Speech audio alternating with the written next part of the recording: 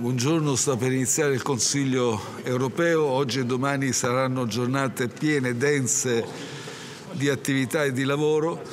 La cosa importante è che ieri c'è stato questo passaggio parlamentare che ha sancito la coesione delle forze di maggioranza, un passaggio che dà un chiaro mandato all'Italia a partecipare ai lavori del Consiglio europeo per completare questa riforma del MES, ma soprattutto in una prospettiva futura per poter recitare un ruolo da protagonista per la nuova stagione innovatrice che si annuncia in Europa, con, che si realizzerà con la conferenza sul futuro dell'Europa.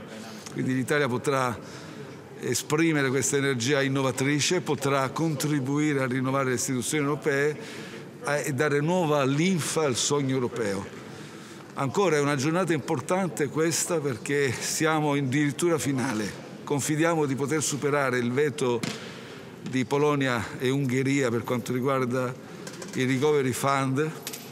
Siamo nelle ultime ore, c'è stato qualche segnale di avvicinamento e questo sarebbe importante. Sarebbe importante sbloccare quindi i 209 miliardi che servono alla comunità nazionale. Confidiamo di farlo in queste ore. Grazie.